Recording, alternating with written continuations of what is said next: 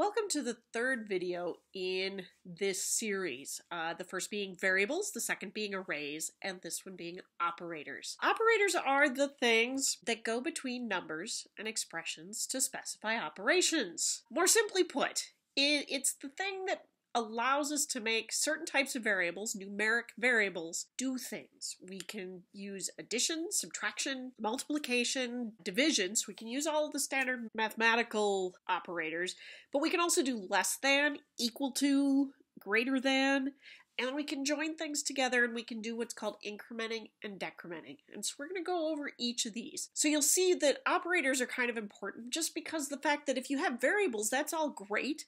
But one of the most powerful things with PHP in the fact that not only does it work with databases, but think about it in the context of an e-commerce site. You've placed an order for an item.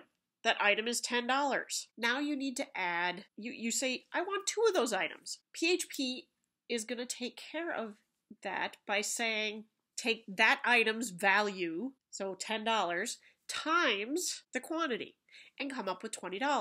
And so imagine if you had to do that all manually. So this is what operators allow us to do. So one of the first things that we need to understand is, is this term called associativity. PHP uses what's called right associativity, meaning that the value that's on the right acts upon the left. Now, this shouldn't seem like a very foreign concept because if you think about it, this is basic math. So in this example where it says print, meaning print or echo, so display this, 104 minus 87. Well, that number 87 is acting upon that 104. So it's that 87 is being subtracted from 104.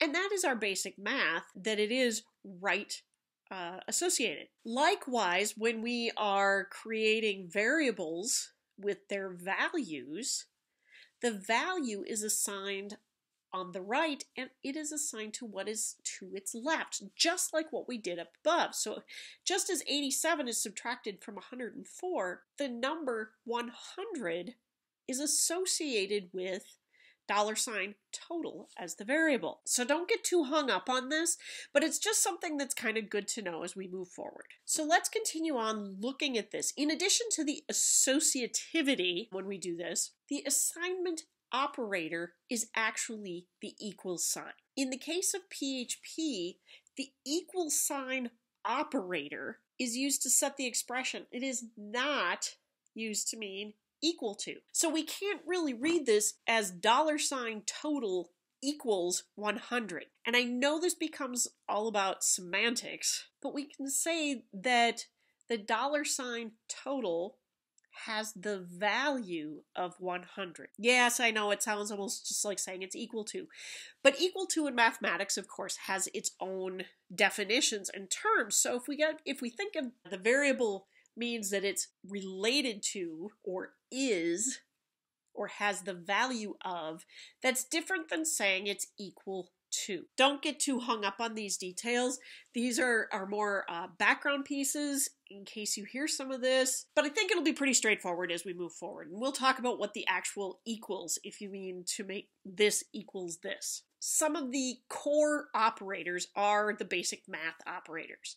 So we have addition, subtraction, multiplication, and division, and those are the symbols that we use to indicate these in our code. So for example, we can actually set our variable as what is referred to as an expression. Up until now, we've looked at strings, where it might just be dollar sign total is 4845, and that would just be a numerical value. In this case, we're saying dollar sign total means that it is the number 4845 divided by 3. So what the result of that is, is what the value is. So that's referred to as an expression. So let's take a look at an example. I highly encourage you to play around with each of the examples that's presented in this particular video. It's going to help you understand better what operators are. We will go through an exercise And then our, our final lab for this week is going to be using a lot of operators. So I encourage you to work through each of these so you get a better understanding. So in this particular case, we're setting a number of variables. So the first three are pretty straightforward. We're saying that the box height is 10, box width is 8, and the box length is 12. So we're going to be figuring out some area. So then we set another variable. In this case, it's called box cubic inches.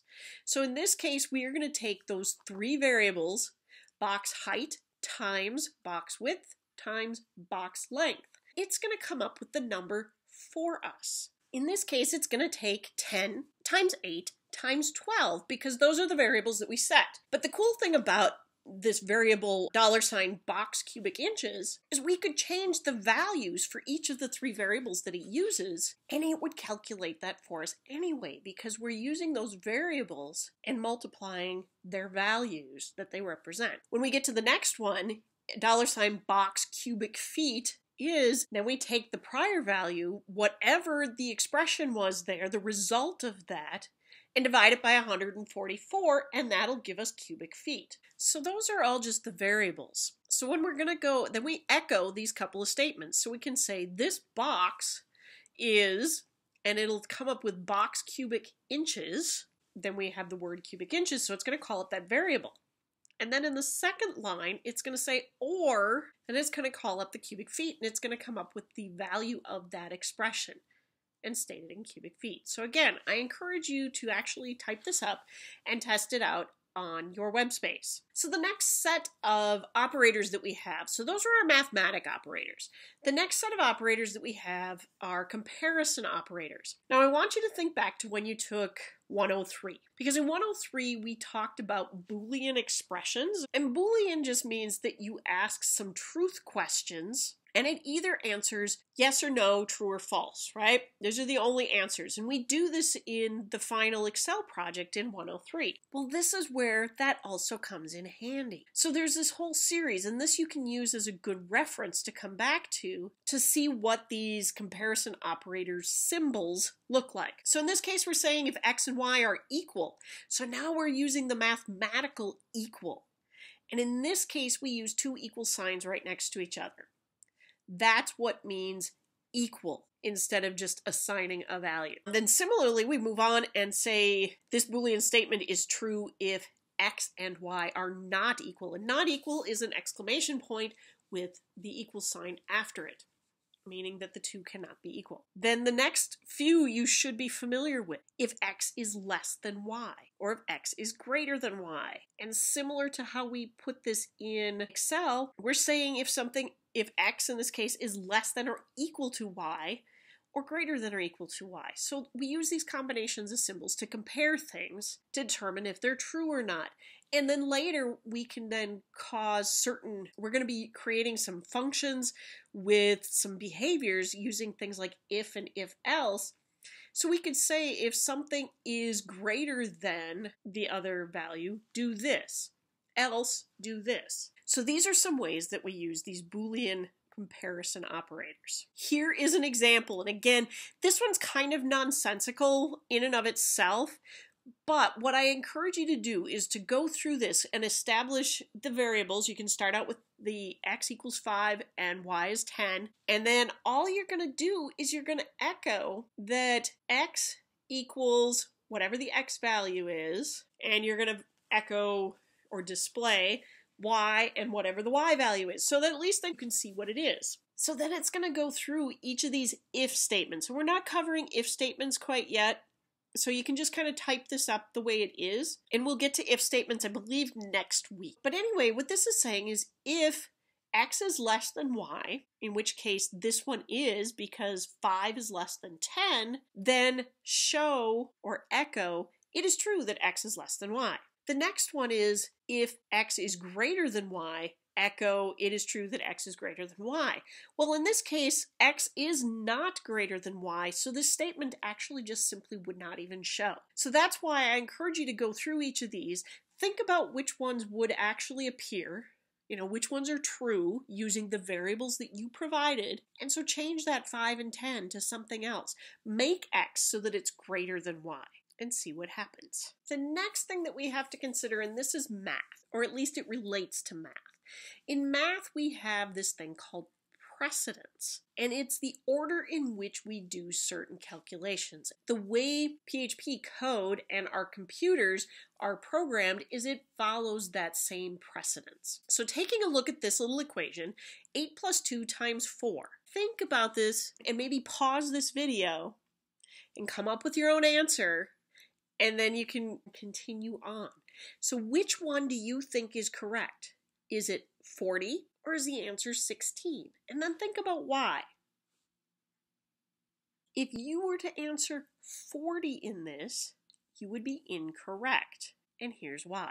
If you remember back to math, the standard order of operation is you do any multiplication and division first, followed by addition and subtraction. So as I just stated, the rules of math hold true in the scripting and programming languages as well, and that's how our computers will process the information. So now if we go back to this, and I ask you again, what is 8 plus 2 times 4?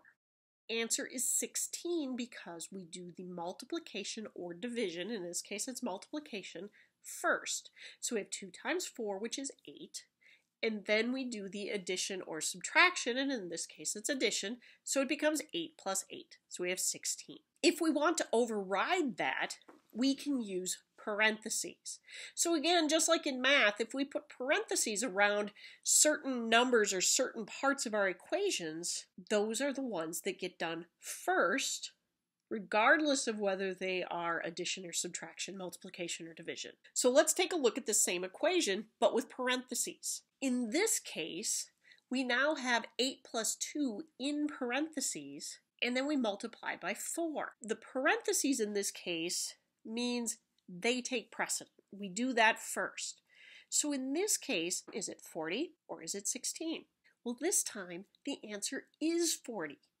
And that's because we do the 8 plus 2 first because it's between parentheses. So that gives us 10.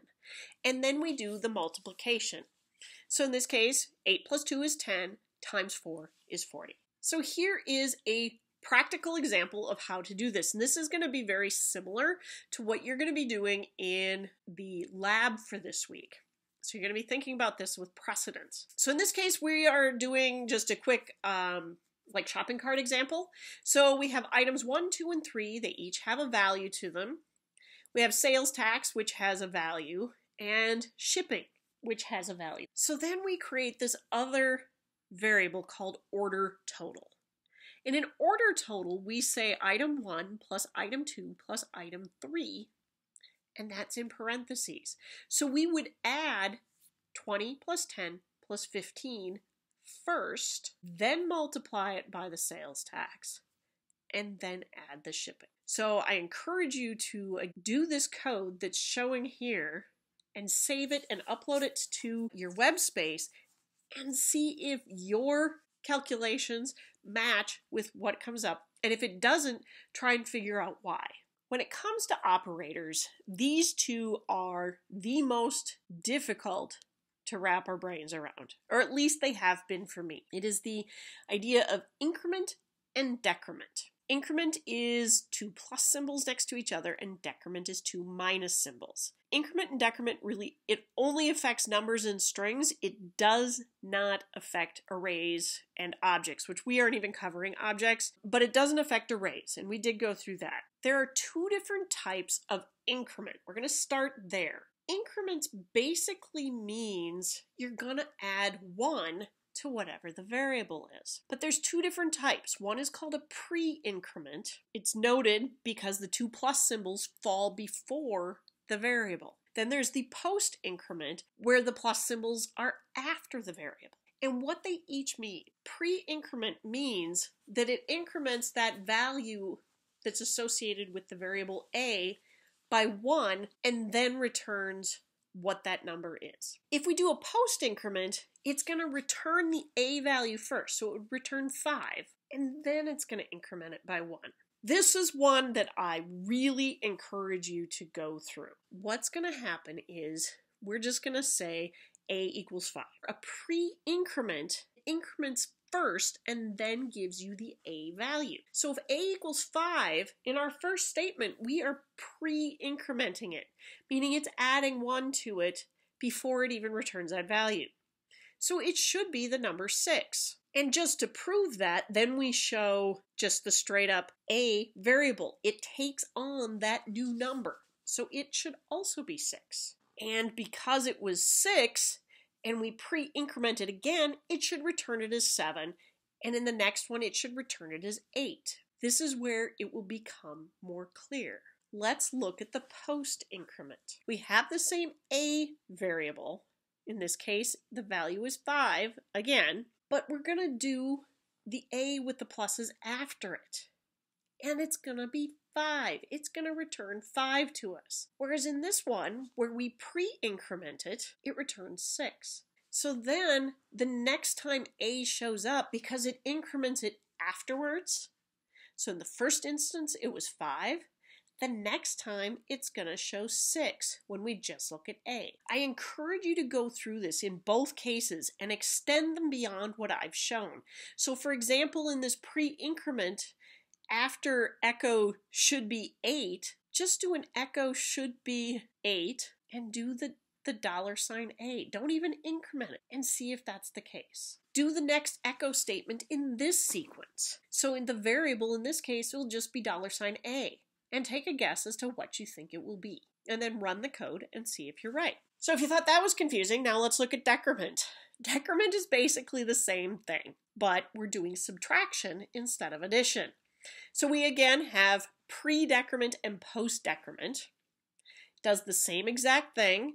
In this case, it'll take that variable, it'll subtract 1 from it, and then return what that new number is. If you do the post-decrement, the first time that it shows, it's just going to return the actual A value. So it's just going to return 5.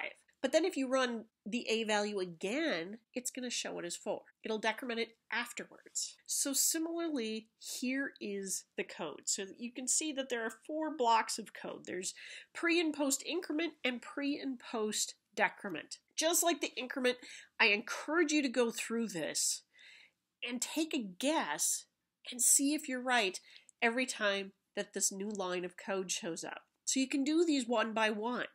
So you could do echo should be 4 and you could pre-decrement this and see if it comes up as 4. And then you can run it where it's just the variable a and see if you're correct. And likewise, then there's the post decrement, which is going to do that same thing that the post increment did, but we're subtracting. So again, go through each of these four pieces and really work through them because I think then you'll understand this math. It's kind of complicated to describe, but it makes more sense when you're actually doing this. So run through these examples and, and I think it'll help you understand it better. The last thing that we are going to cover, because if you remember, operators are expressions that go between numbers that connect them in some way or change the end result. The last one is called concatenating. Personally, I think that's a really fun word to say. It just means to, to link or to join things together. In programming or scripting, it's basically just an operation of joining a couple of character strings together. So in this example, without showing any code, just the statement of saying the concatenation of snow and ball is snowball, because we are joining those two strings of alphabetical characters together. Let's take a look at how we actually do this. How we concatenate for example, we have two variables, a first name and a last name. We have assigned them each uh, strings in this case, so they're alphabetical strings. Uh, and we have a first and last name of an author. So in this case, we do echo. So we are going to display this on our screen. And we're going to say echo the first name. And so it'll pull Neil. Then we put a period followed by a quotation mark. And then in that space, there is actually a space because if you didn't do this, the words Neil Gaiman would be all smashed together and form one word. So we concatenate them by putting that period, a quotation, and then whatever is between our quotation marks is going to display. In this case, it's just a space. So this is going to echo first name, so Neil, space, last name. And then after we're finished with that, we are going to put a period and another set of quotation marks, and it's going to display exactly what's between the next set of quotation marks, which is is an author. And then we end it with our semicolon. So in this case, it's just simply going to read Neil Gaiman is an author. We're going to get lots of practice with concatenating because that is in the exercise that I have at the end of this. We will begin uh, looking at exercise three.